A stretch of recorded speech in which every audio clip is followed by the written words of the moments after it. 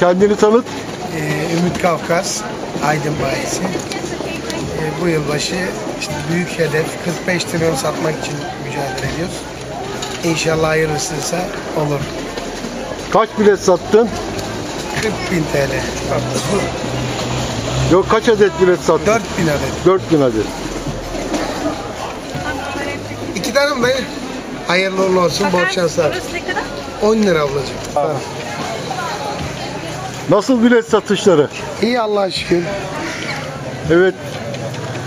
Bilet alıyorsunuz. Hayırlı olsun amcacığım. Sağ ol. Büyük ikramiye size çıkarsa ne yapacaksınız? Sen söyle ya söyle. Söyle bakayım amca. Yarısını hayır yapacağız. Öyle mi? Yarısını ne yapacaksın? Yarısını aşağı iş ederiz. Siz bundan sonra Torunlara ev, Ben araba. çıkmasa bile çıktı diyeceğim yani.